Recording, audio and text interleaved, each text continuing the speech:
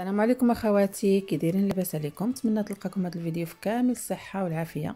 إن شاء الله اليوم كما كتشوفوا معايا غندير هذه الحلوة بلا كريم ديال البرتقال اللي كتجي لذيذة بزاف وغتعجبكم. كنتمنى أنكم تجربوها وتردوا عليا في التعاليق. خليكم تكتشفوا الطريقة وكذلك المقادير فخليكم معايا.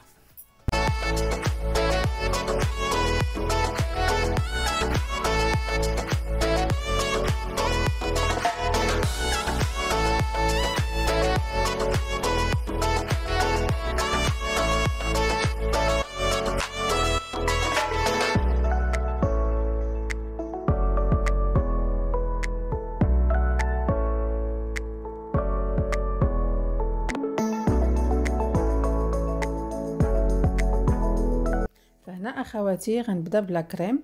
آه غنحتاج ليها بيضة وحدة.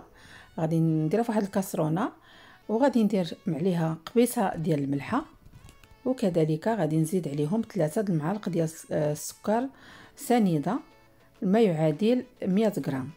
غنحك عليهم واحد آه قشرة آه ديال الليمون.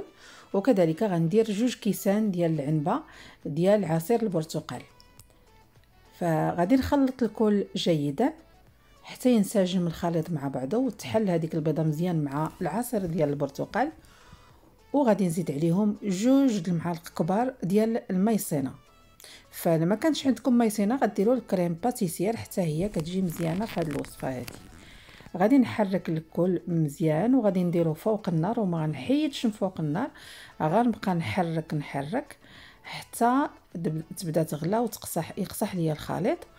ونخليه آه ونديرو في واحد آه الإناء ونخليه يبرد مدة ديال 30 دقيقة.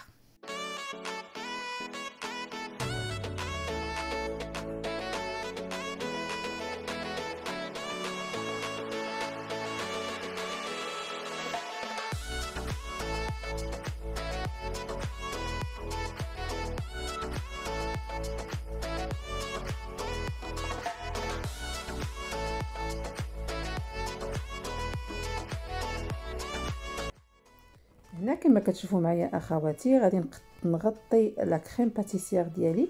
نغطيها بواحد البلاستيك وغادي نخليها في المبرد لمدة ديال 30 دقيقة على ما ندوز الباقي المراحل.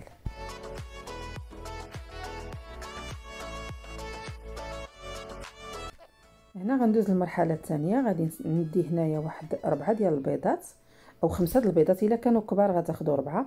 وإلا كانوا صغار خذوا خمسة د البيضات. فعلى حساب هاد المقادير عندي هنايا كاس فيه 200 آه غرام ديال الدقيق وعندي 100 غرام ديال الماء 100 مليلتر ديال الماء عفوا و100 مليلتر ديال الحليب و70 غرام ديال الزبدة.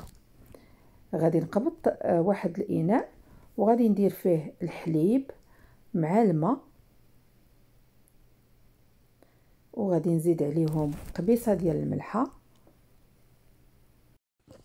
وغادي نزيد عليهم الحكة ديال العصير البرتقال وديك الزبدة وغادي نديهم فوق النار.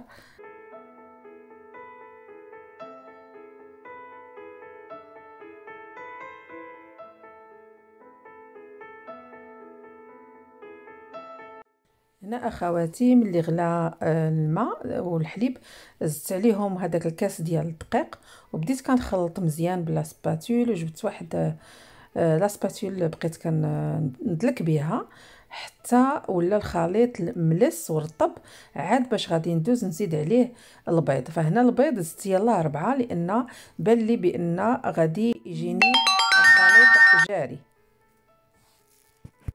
هنا غادي نبدا نخلط حتى آه ينسجم هذاك البيض يدخل البيض مع الدقيق. وغادي نحصل على هذا الخليط اللي هو شوية كيكون رطب ولين غادي نديرو آه على جنب. وغادي نجيب واحد الإناء اللي غادي نمشي للفران. غادي ندير لو بابي سلفيغيزي وغادي نخويه فيه باش ندخلو للفران. الفران أنا دابا شعلته راه سخون. وغادي نديرو على 170 وندير فيه هاد الخليط اللي هو آه آه، غادي يطيب على درجة ديال 170 المده ديال ربع ساعة ديال آه، 15 دقيقة.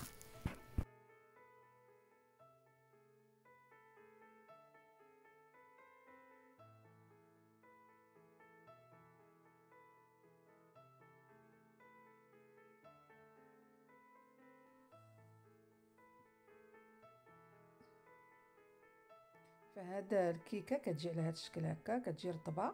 ما كتلصقش لأنها فيها آه، الزبده وطايبة مزيان فغادي نحيد لها هذا ونخليها تبرد حتى نصايب كيكة ثانية بنفس المقادير وبنفس الطريقة باش صايبت الأولى هذه وخصها تكون على نفس القياس آه، في الديامتر ديالها نفس القياس لأن خصني آه، باش نعمرها بلا كريم. يعني تجي وحدة لتحت وحده الفوق ولا كريم في وسط منهم.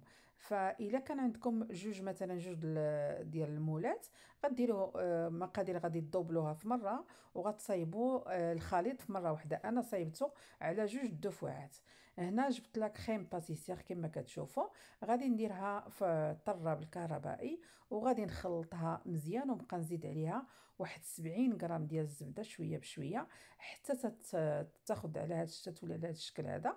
وكتندمج مزيان معاها وكتولي رطبة وغادي نديرها في واحد لابوشادوي باش غادي نعمر بها الكيكة ديالي. فهنا كما كتشوفوا معايا هاد لابوشادوي كتسهل علينا الخدمة وحتى لما كانش عندكم تقدروا تعمروها غير بالمعلقه ماشي مشكل. فأنا كنديرها على أساس باش ما تخرجليش من الحاشية. هنا غادي نقبط هذاك الإطار ديال المول اللي غنعمر فيه. غادي نقاد هذيك الكيكة الثانية اللي صايبت. غنقادها من الحاشية باش تجي متساوية وما تجيش خارجة من آه من الكيكة. غادي نقادها مزيان وغادي ندوز باش غادي ندريسي الكيكة ديالي.